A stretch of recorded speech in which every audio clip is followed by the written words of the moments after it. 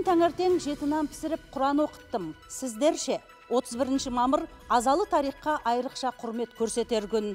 Жұт ашаршылық қуғын сүргін нәубет. 20 ғасырдың алғашқы 40 жылында қазақ даласында 4,5 миллион адам қырылыпты.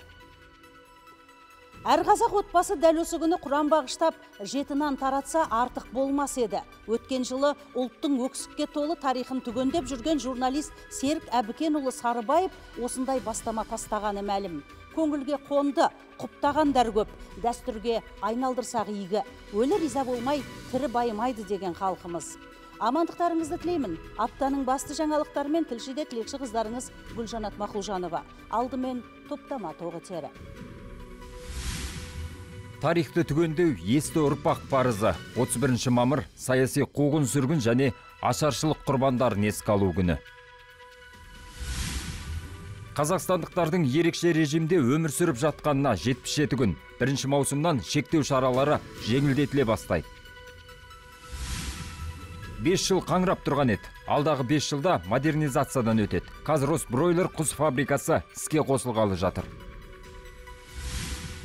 Қапшағай қаласы мен сарқан ауданының әкімдері тағайындалды. Жетісу әлеуметтік кәсіпкерлік корпорациясының басшысы ауысты. Тәтті түбірден мол өнім алудың қамы. Облыс әкімінің орынбасары серікжан бескемпіров ақсу сарқан алакөл аудандарын аралады.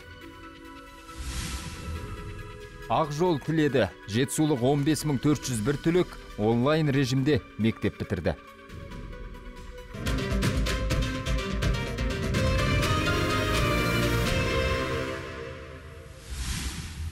Аштан қырылғандар жазықсыз жазаланғандар аяусыз атылғандар көмусіз қалғандар көп. Тым көп. Ұрпақ санасына құя жүрелік. Ұлықтай өссін. 31 мамыр азалы күн. Ел президенті қарсаңында үндеу жариялады. 20 ғасырдың 20-50 жылдарындағы зобаланға назар аудартты. Халқымыз үшін қасіретті кезең болғандығын айтты. Бірі ұжымдастыру кезеңіндегі ашаршылық 3 миллионға жуық адам запа шекті. Тек 1937-38 жылдардағы қызыл құрыққа елімізде 100 мыңнан аса адам ілініпті. Төрттен бірі атылды. Ұлттың саяси рухани ұлы күшітін елім деген элитасы еді. Президент пәрмен берді. Елімізде саяси қуғын сүргін құрбандарын ақтау үшін арнайы мемлекеттік комиссия құрылатын болды.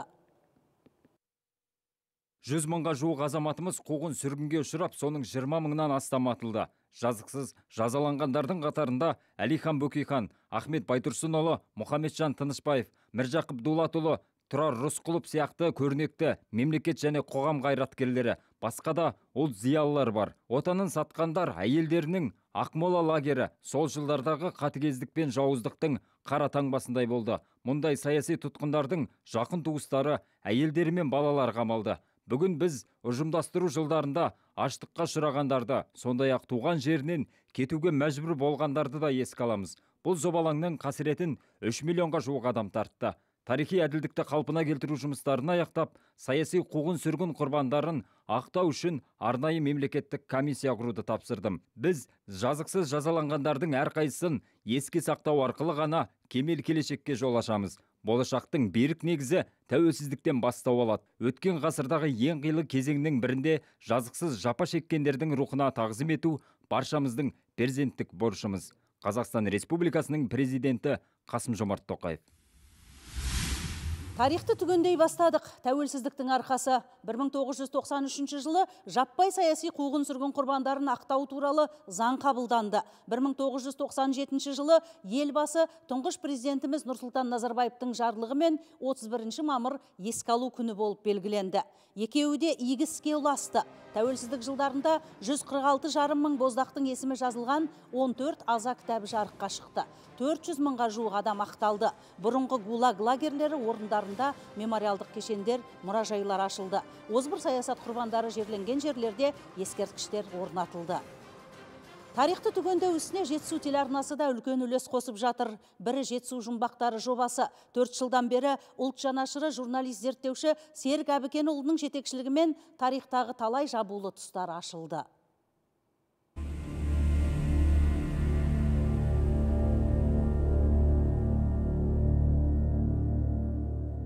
Алғашқы нәубет қазақ даласына қара шекпенділерді қоныстандырудан басталды. Бұл 1906 жылғы столыпин реформасы. Қазақтың шұрайлы жеріне көз тігіп шалғайдағы отар аймақтарға орыс шаруаларын қоныстандыру көзделді. Сол кезде ақмола торғай семей облысына ресейден 430 мың аса отбасы көшіп келді. Ресейлік империя тұсында сияқты қазақстанда да ә, яғни кеңестік өкімет өкіметтің алғашқы он жылдығында осы келімсектердің саны көбейді. Ол түсінікті деді. Себебі қазақтың жері кең яғни осы жерге қалай болса солай келімсектерге жер телімдерін беру арқылы орналастыру ә, былайша айтқанда кеңес өкіметіне де тиімді еді зобалаң ғасыр зұлымдығы 1916 жылы да көрініс тапты. Бірден ұлт азаттық көтерілісі бұрқ етті. Қызыл мен ақтың арасындағы қырғында тағы да қазақ қырылды. Тірісі өлердей тірлік кешті. Ашқұрсақ халық бірінің етін бірі жеуге дейін барды.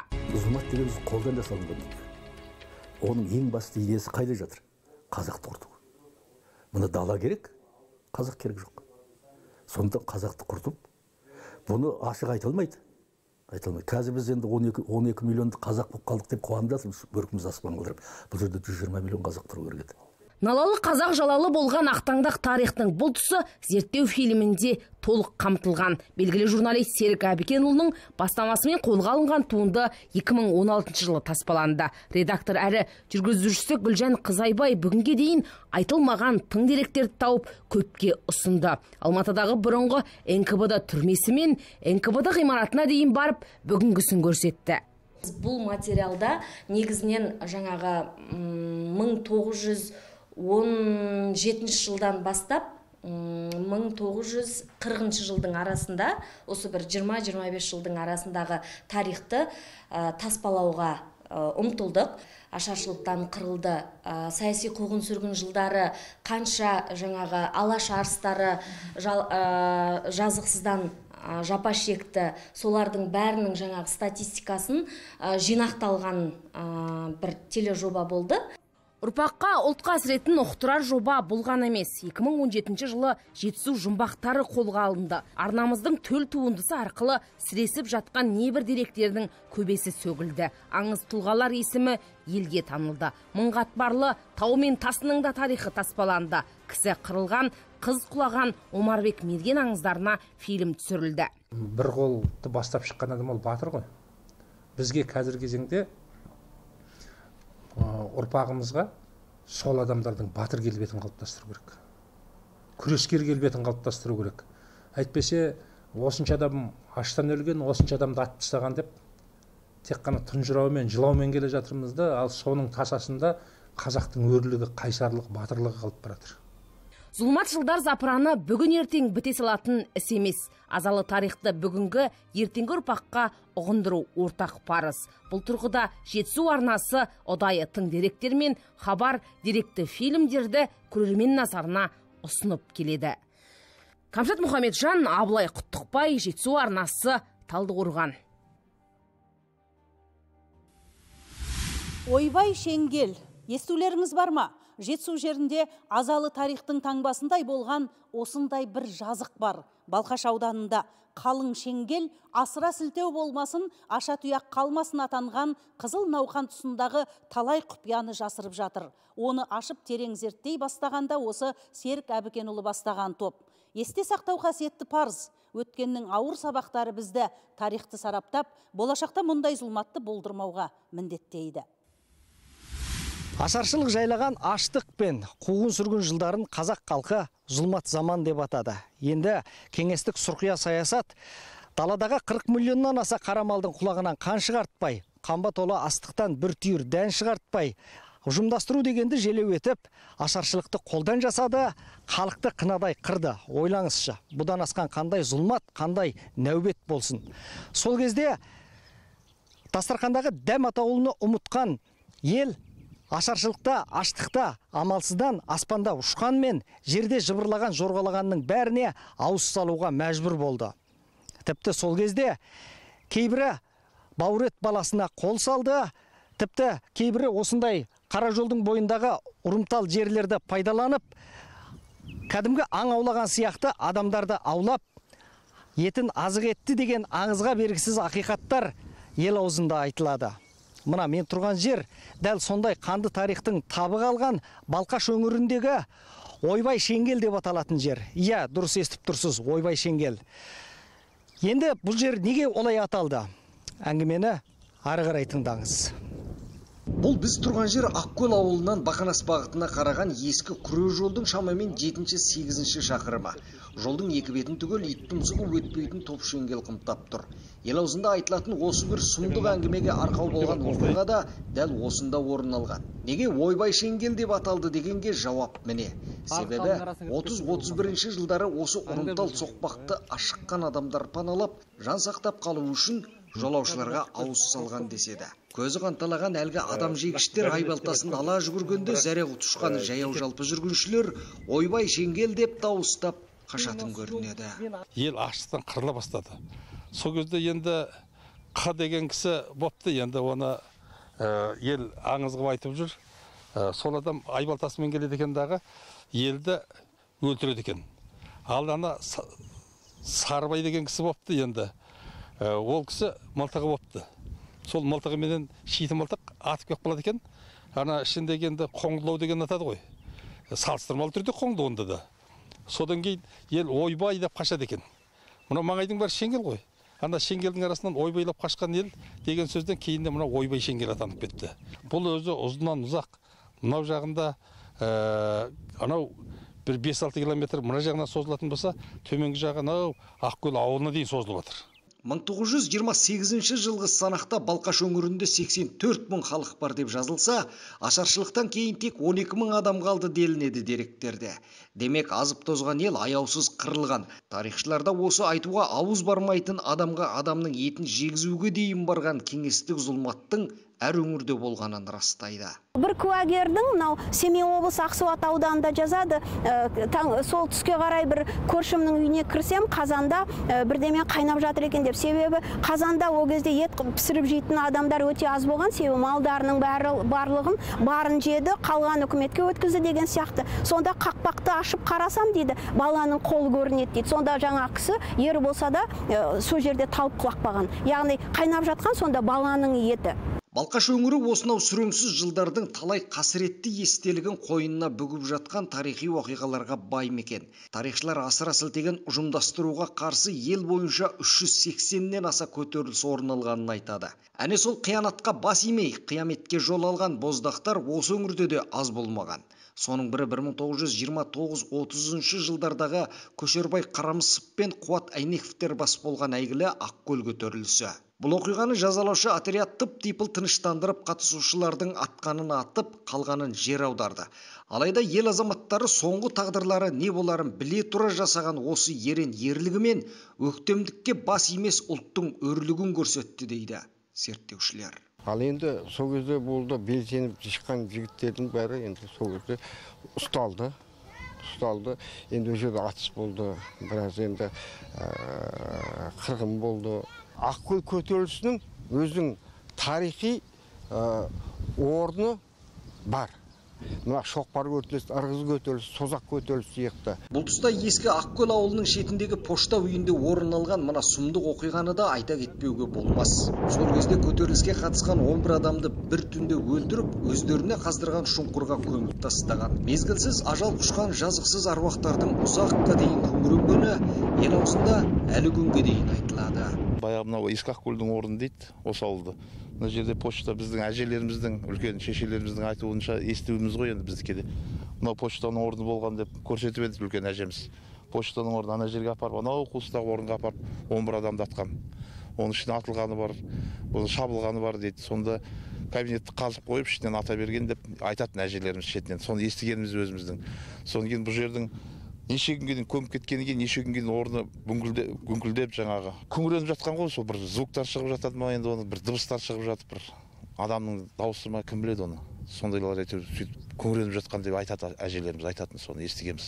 Көтеріліске қатысқандар 1989 жылы толықтай ақталып еңселі ескерткіш тұрғызылды. Алайда мына 11 адам көмілген жер мүлде назардан тыс қалған. Жанашырлар адам жерленген әруақты жерді мал аяғына таптатпай тым болмаса құс ұрдылар қоршап қойса деген ұсыныстарын айтады. Сол әлі күнге дейін малдың тұяғының астында жатыр. Білмеймін енді. Мен бұны бұл кезінде ә, ауданның әкіміне де айтқам бұл мәселені алдына қойғам одан кейін жетісу облыстық жетісу газетіне де жаздым бұл ескеріш орнатылды бірақ деген мақала. Енді одан бері де біраз жылдар өтіп кетті. Бірақ әлі білмеймін неге қозғалып жатқандар. Енді ескеріш орнатылғаннан кейін ар жағында бір кәдімгідей қоршап одан кейін сол жерде кімдердің атылғанын аты жөндерін жазып қойса өте тамаша болар еді ұлт үшін тіл анасы болғанда тағлымды тарихы атасы болары сөзсіз біз кеңестік жүйеден аяусыз қиянат көрдік сондықтан өткен бұралаң жолды білмей болашаққа дұрыс бағдар жасай алмаймыз дейді тарихшылар бұл 31 мамыр қазақ халқы үшін ұлты үшін азалы қаралы күн бір сөзбен айтқанда бұл ұлтты жоспарлы түрде жойқын саясатпен қазақ ұлтының көзін жою процесі болатын бұның барлығы. Өкінішке орай оны жүзеге асыра алмады. Қазақ әлі тірі. Мінекей сондықтан бұл қуғын сүргінді немқұрайлылықпен қарауға болмайды. Тарихтан сабақ алуымыз қажет. Біз тарихтан сабақ алмағаннан кейін елдің болашағы өте бұлыңғыр болады. Иә алты миллион қазақтың үштен екісін жер бетінен жойып жіберген бұл қасіретті кезең еш уақытта ел жадынан өшпейді. Қайта кейбір ақтаңдақ тұстар зерттеліп толығады деген сенімдеміз. Осылайша ұрпақ баба тарихына тағзым жасап өткеннен сабақ алып отыруы тиіс. Құрманжан қасымжанұлы ерболат антелов жетісу арнасы.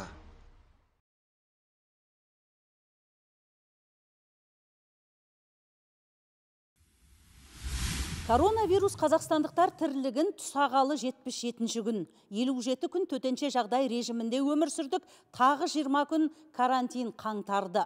Қош жеті шектеулер түйінін шешердей. Бірінші маусымнан яки ертеңнен бастап елімізде барлық блокпосттар алынады. Бесінші маусымнан ел ішілік қозғалыстар жанданады. Тыйым талаптар жеңілдетіле бастамақ.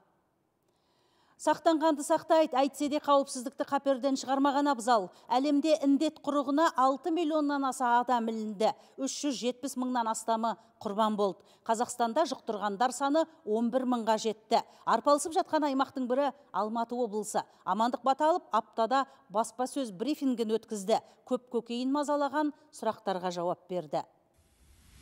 Аптада әкім журналистер үйіне келді, сұхбат берді. Бірден айтты, карантин режимі әлі толық алына қоймайды. Індет басылған жоқ. Сөзінің жаны бар. Жексенбіде мәселен, аймақта жұқтырғандар саны 350-ден асты. 20 пайызы талдықорғанда. Ол да болса, аймақта індетті анықтау жұмыстарының шапшаңдығы. Аз уақытта жергілікті билік арнайы зертханалардың жетіншісін іске қостыртқалы жатыр. Облыс тестілеу жағынан республикада төртінші орында. Ал карантин жайын алдын ала кесіп пішіп айту қиын бірінші маусымда штаб отырысы болады қандай шешім қабылданары ахуал қандай болатындығына байланысты с 1 июня мы сейчас рассматриваем вот у меня перечень мне сегодня тоже показывает этап по снятию ограничительных мер вот здесь вот написано торговые дома торговые центры рынки кафе столовые сауны бани все мы каждый день заседаем и вот это решение мы примем окончательно с 1 июня и мы скажем,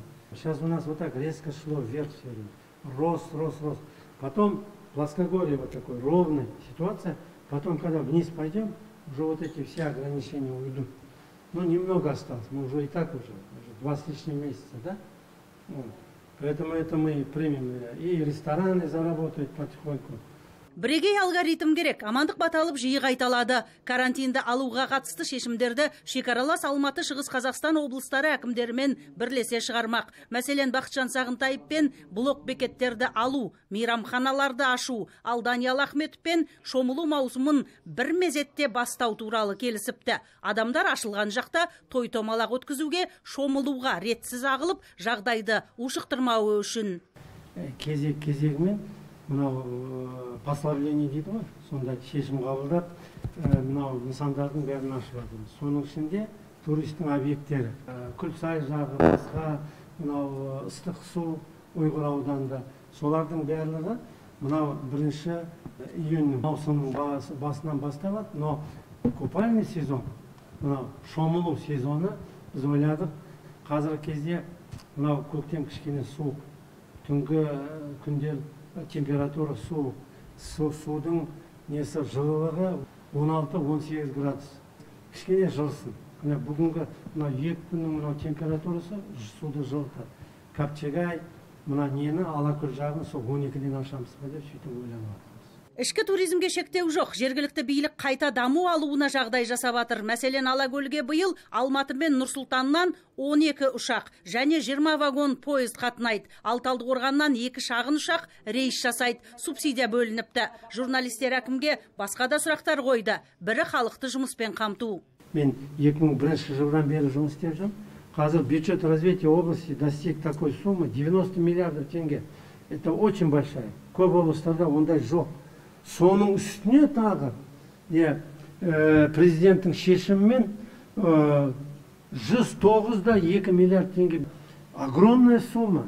Такую огромную сумму нам дали бізге беріп жатыр соны дұрыс пайдаланып іске асырып 23 мың жұмыс орны ашылады. 23 мың. Ал егер бәрін бітіп мынау нысандарды іске қосқанда екі мыңдай тұрақты жұмыс орны ашылады. Халықта жұмыста болады азық түлікте жеткілікті болады дейді әкім. Реті келгенде жетісулық диқандарға алғысынды айтты. Бір миллион гектар жерді игеріпті. Ел тоқтығына кепіл. Сөз соңында халықтың өзінен әлеуметтік жауапкершілік танытуларын сұрады. Сақтанғанды сақтайды. Құрметті жерлестер алматы облысының тұрғындары коронавирусты біз контрольға алдық. Но коронавирус бар әлі. Қазіргі кезде карантин режимі әлі сақталуда. Кішкене шыдау керек. Бәрі дұрыс жұмыс істеліп жатыр егін егіліп жатыр мекемелер өндірістер жұмыс істеп жатыр. Мынау кішкене халықтың арасында. Біз кішкене өзіміз сақтап туған туысқандарымыз сақтап бала шағамыз сақтап жақындарымыз сақтап біздің алматы облысымыз сақтап кішкене сол карантин режимді соблюдать ету керек соны сақтау керек. Гүлжанат мақұлжанова жасұлан шымкенже жетісу телеарнасы. Алматы облысының таулы аумақтарында ірілі ұсақты 217 көл бар. Жауын шашын көп болса, етектегі елді мекендерге қауіп төндіруі мүмкін. Тосын апаттардың алдын алу мақсатында облыс әкімі Амандық Баталып аптада тікұшақпен қауіпті аймақтарды аралап қайтты. Жағдайды жете саралау үшін қасына қас селден қорғау және төтенше жағдайлар департаментінің өкілдерін ертті. Таулы аймақтарға аэровизуальдық бақылау жүргізіп, Жетісу Алатау тау қыратының солтүстік бөлігіндегі Лепсі, Сархан, ақсу бүйен қапал өзендері арналарын тексерді. Байқауларынша қазір 3000 метр биіктіктегі қарлар епте беріп жатыр. Көлдердегі су деңгейі де бастауын таудан алар өзендер арнасы да қалыпты. 59 бақылау посты 12 диспетчерлік пункт арқылы жағдай тұрақты бақылауда. Маусым мен қыркүйек айларында тау көлдері тостағанындағы суды ағызып тастау жұмыстары жүреді. Жалпы аймақта селден қорғау жұмыстарына 1 миллиард 200 миллион теңге бөлінген. 928 бірлік техника мен 2500-ден аса маман төтенше жағдайда қызмет етуге дайын тұр. Қуантарлығы аэробақылау жағдай қалыпты екендігін байқатты. На сегодняшний день было проведено обследование. Біз мұндай мониторинг жұмыстарын ұдайы жүргізіп тұрамыз. Жыл басынан қар қалың деген сегіз таулы өлкені барлап қайттық. Енді 29 мамыр іле алатауының тау бөктерлерін тексереміз. Бүгінгі жағдай бойынша өзен көлдердің жағдайы тұрақты. Судың тасуы қыраттардағы қалың қардың еру қаупі жоқ. Бұл маңдарда облыстық төтенше жағдайлар департаменті мамандарынан құралған жедел жасақ құрылған. Жағымды жаңалық 5 жыл қаңырап тұрған ет жанданатын болды жаңғыратын болды. Тағы бір 5 жылда халықаралық стандартты кластерлі алып кешенге айналмақ. Қазрос бройлер құс фабрикасын айтам. Жаңа инвесторлар сатып алды. Жылға жуық жаңалапты. Таяуда іске қоспақшы. Аптада амандық баталыпқа келді сұраныс берді. Құс азығын шығаратын қосымша зауыт ашқылары бар. Онсыз іс кіріссіз. Іле жағалауына жақын жерден жер сұрайды. Жер асты жер үсті инфрақұрылымына көмегі қажет. Әкім қуана қолдайтындығын айтты Отан Green Food компаниясы алматылық Ұйғыр ауданында 5 жыл қаңырап тұрған құс фабрикасын сатып алған. Биыл жұмысын қайта жандандырып отыр. Жем зауыты, құс сою цехы мен инкубатор орталығы дайын. Тауықтарға арналған қоралардың да шатыры жабылды. Ресей, Нидерланд, Бельгиядан жеткізілген қажетті құрал жабдықтар толық құрастырылып болды. Кәсіпорын іске қосылғанда мыңнан аса адам тұрақты жұмысқа орналасады. Инновациялық жоба құны 20 миллиард теңге. Дегенмен серіктестік өкілдері қордаланып қалған проблемаларын да алға тартты. Мәселен құсқа беретін жем шөпті шетелден доллар курсымен алдырады. Бұл тиімсіз. Сондықтан кәсіпорын басшылары облыс әкімінен осы аймақтан егістік алқабын бөліп жер мәселесін шешуге жәрдемдесуін сұрай келген екен. Бізде ең маңызды ол жем. Өйткені жем ол себестоимостьқа жетпіс проценті жем бізде жемнің сырттан көбісін сырттан әкелеміз. Ресейден южный америкадан әкелеміз. Ол соя деген жем. Соларды осы өзіміз шығармақпыз осы алматы облысында соған бізге бірнеше поливной жер керек. Жиын барысында суармалы жер мен мемлекеттік көмек субсидиясын қалай алу керектігі сөз болды. Осыған байланысты бірқатар ұсыныстар айтылып кеңінен талқыланды. Облыс басшысы бұл мәселелердің жақын күндері шешімі табылатындығын жеткізіп жауапты қызметкерлерге нақты тапсырмалар жүктелді. Всех наших проектов по біз сіздердің жобаларыңызды қолдаймыз және оның толық іске асып жұмыс істеуіне жан жақты көмек көрсетеміз. Белгілі бір суармалы жерлерді босатып бос жерлерді анықтап оны құжаттандыру жұмыстарына арнайы бюджеттен ақша бөлеміз. Құс фабрикасын дамытудың екінші кезеңі 2025 жылға дейін созылады. Бұл жоба толық іске асар болса тауық еті жылына 100 мың тоннаға өндірілмек. Сонымен қатар жұмысшылар санын 4 мыңға ұлғайтады. Келер жылдан бастап жылына 5 миллион жұмыртқа шығару жоспарланып отыр. Жарқын нұрланұлы жасұлан шымкенже жетісу телеарнасы.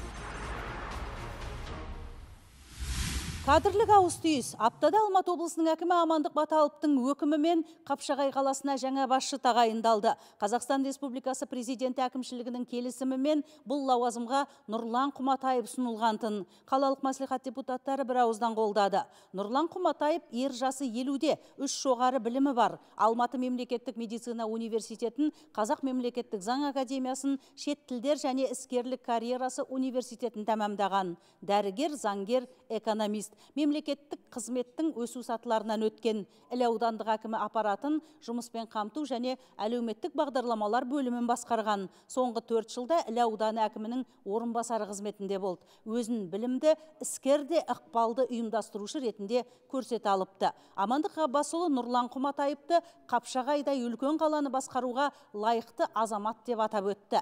Талап үдесінен шығарына сенім білдірді. Жаңа әкімге жаңа мақсат міндеттер жүктеді. Бұл бағытта бастысы әрине экономикалық дамуды қалпына келтіру ілгерілету. Президент тапсырмаларын орындау. Оның ішінде жұмыспен қамтудың жол картасын іске асыру. Құрметті амандық ғаббасович құрметті депутаттар және қапшағай қаласының әкімінің лауазымына сенім білдіріп тағайындап жатқаныңызға шын жүректен алғысымды білдіремін.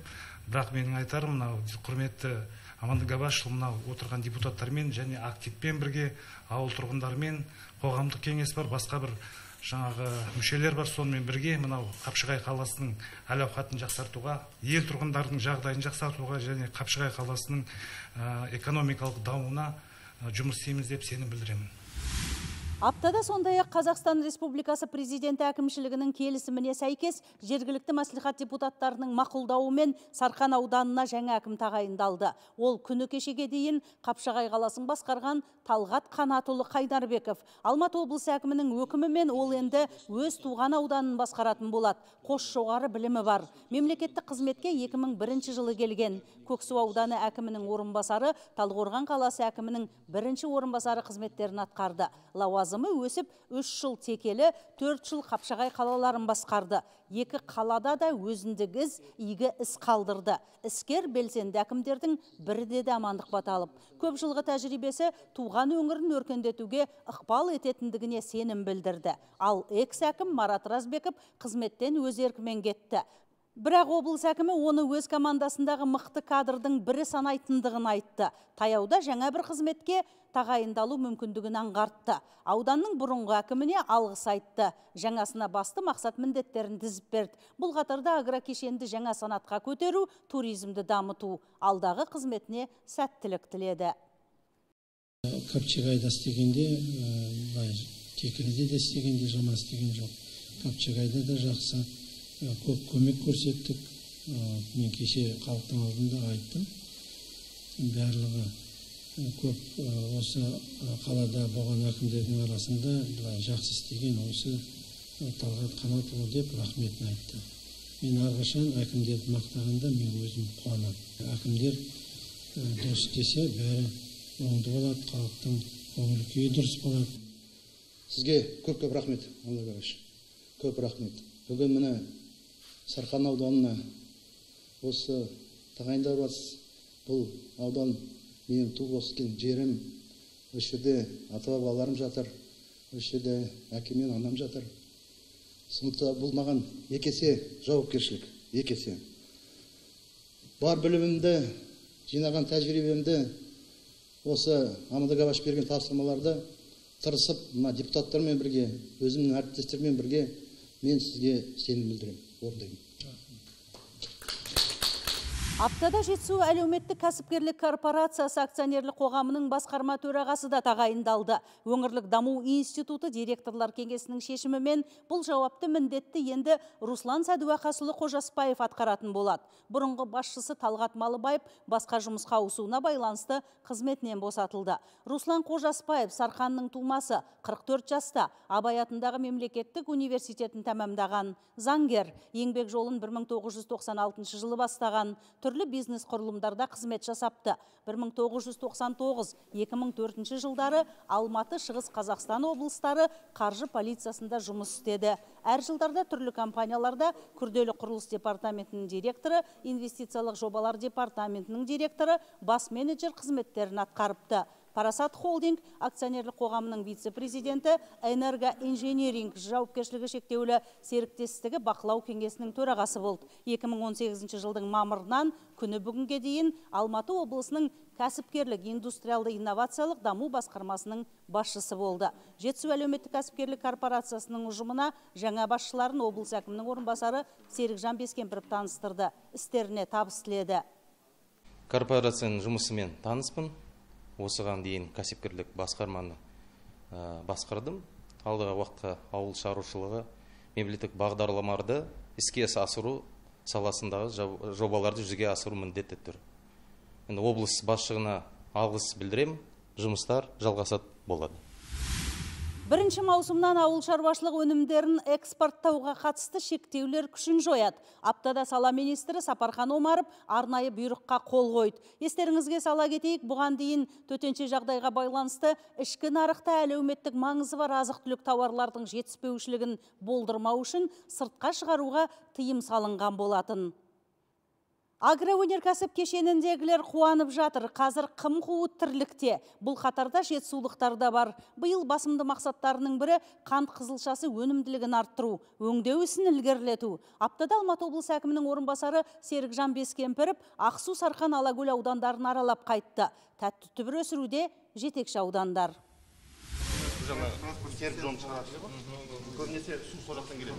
Қазір ақсу қант зауытында өндіріс құрылғыларын тазалау жұмыстары жүріп жатыр. Яғни күзде тәтті түбірлерді кедергісіз қабылдап өндіру үшін. Қазір бұл өндіріс мекемесінде 120 адам жұмыс істейді. Жазғы маусымда тағы 100 тұрғынды қатарға қоспақ. Ал дәл маусымдық кезең қызған тұста зауытта 500-600 жұмысшы өнім өндіруге кіріседі. Биыл спк арқылы осы зауытты жібереміз.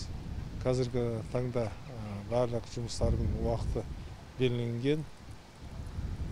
Ол сол графикпен жиырмасыншы сентябрьде заводты уже іске қосуымыз керек.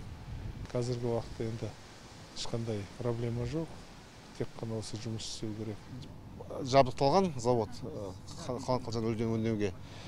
Енді биылғы жыл біз жоспарлап отырмыз. Келесі екі мың жиырма бірінші жылы пластиковый сахар средств дейді мысалы.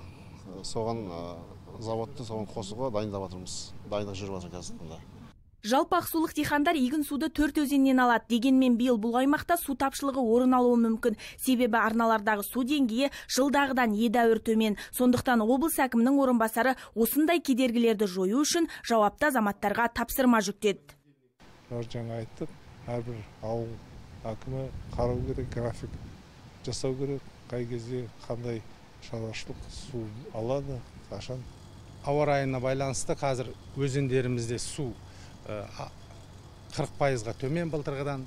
Сол себептен қазір біз аудан әкімшілігі облыс әкімшілігімен біргелесіп 24 сағат суғару жүйесін енгізіп келісім келісім жүргізіп жұмыс жасап жатырмыз.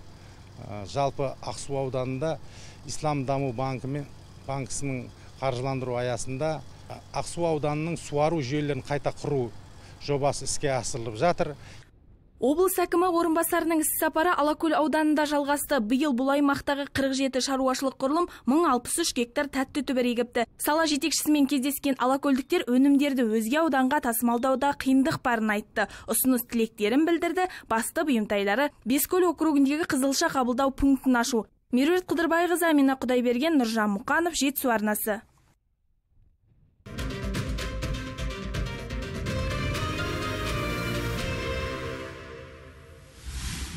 2020 кібісе жылы өзгеше басталды, өзгеше болып тұр. Қазақ қашанда қай қиындықтан да қайыр іздеген халық. Басы қатты болса, аяғы тәтті болады деп өзара жұбату айтып жүр. Солай болғай. Корона індет көктемді ұрлады. Түлек атаулы жабырқаулы ұлттық бірыңғай тест сынақтарына тиісті дайындық жасай алмады. Соңғы қоңырауды да ести алмады. Мектеп бітіру кештері болмайды. Биыл алматы облысы бойынша 15401 түлек мектеп бітірді. 11 жыл күткен қуаныштары онлайн өтті. Аймақ басшысы амандық баталов та биыл онлайн құттықтады. Құрметті жас түлектер құрметті ұстаздар мен ата аналар бүгін міне облыста 15 мыңнан астам жас түлек мектеп бітіріп үлкен өмір жолына аттанғалы тұр. Осы жас өркендерімізге ақ жол тілей отырып баршаңызды бүгінгі соңғы қоңырау мерекесімен құттықтаймын. Өздеріңіз білесіздер коронавирус індетінің таралуына байланысты елімізде биылғы оқу жылының соңғы айлары қашықтан оқыту жағдайында өтті. Соған сәйкес соңғы қоңырау мерекесін де ерекше форматта өткізіп отырмыз. Десек те бұл балалардың білім деңгейіне оқуға деген құштарлығына алдағы үлкен жоспарларына ешбір бөгет бола алған жоқ. Мемлекет басшысы қасым жомарт кемелұлы тоқаев тапсырмасымен оқушылардың қашықтан кедергісіз білім алуына мемлекет тарапынан барлық мүмкіндік жасалды. Жұмала көтерген жүк жеңіл дегендей облысымыздың педагог мамандары оқушылар мен ата аналар барлық қиындықты қажырлықпен еңсеріп шықты. Баршаңызға шын жүректен ризашылығымды білдіремін. Құрметті жас түлектер білім мәңгілік таусылмайтын қазына сарқылмайтын байлық білім ең мықты рухани күш ең қарулы қуат көзі. Сондықтан оқытудың жаңа сапасына қол жеткізе отырып бәсекеге қабілетті жеке тұлғаны тәрбиелеу бүгінгі күннің басты талабы саналады. Алдағы сынақтардан ұлттық тестілеуден мамандық таңдау сынынан сүрінбей өтулеріңе тілектеспін. Жаңа қадам арқашан өрлеу мен өсуге бастасын. Сендерге ақ жол сәт сапар тілеймін қадірлі жас түлектер. Соңғы қоңырау биыл сыңғырламады. Оның да сиқырын індет ұрлағандай жетісулық 411 мыңнан аса оқушы 2019-2020 оқу жылын онлайн форматта аяқтады.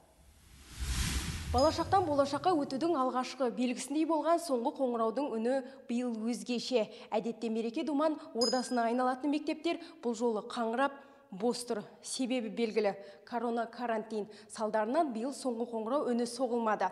Жылдағы дәстүрге сай, мына менің қолымда тұрған сыңғырлақ сәнделмей, қызыл лента байланған жоқ. Өйткені екі ай бойы сабақты қашықтықтан оқыған оқушылар соңғы қоңырауды да онлайн өткізді. Осыдан алдыңғы жылы тілектерді қарап көріп жүрдік. Қандай шаралар ұйымдастырып өзіміз де сол шараларға қатысқан болатынбыз. Бірақ осы жылғы індетке байланысты және бүкіл әлемде болып жатқан жағдайларға байланысты бізде ондай шаралар болмай қалды. Әлима батырхан талдықорған назарбаев зияткерлік мектебінің түлегі. Жаһандық пандемияға байланысты соңғы қоңырау күнін үйде онлайн өткізді. Іште толқу бар. Атаулы мерекені бар сән салтанатымен білім ордасында қарсы алмағанына өкпелі. Талай жыл бір сыныпта оқыған сыныптас ұстаздарымен мектеппен қоштасу кешін қатыса алмадық дейді. Десе де әлима мойымайды. Алда әлі талай іс шара боларына сенеді. Ендігі арманы шетелдік жоғарғы оқу орындарына түсу. Қазірдің өзінде бірнеше оқу орындарынан шақырту алған біз осы 12 жыл бойы әртүрлі университеттерге тапсырып көріп документтерімізді жіберген болатынбыз. Кейбір университеттерден менің өзіме де жауаптар келді. Және де шақырған жерлер бар. Ол нью йорк америка құрама штатындағы нью йорк техникалық университеті сонымен қатар абу дабида орналасқан нью йорк университеті бұдан бөлек венгрияда европада орналасқан карвинус будапешт техникалық университет секілді университеттерден шақыртулар келіп жатыр. Не дегенмен де біздің мэск тапсырамыз энтнің орнына және энтн сертификаты да келіп жатады. Соларды жіберу арқылы соңғы нәтижелерін әлі ала жатырмыз жазда.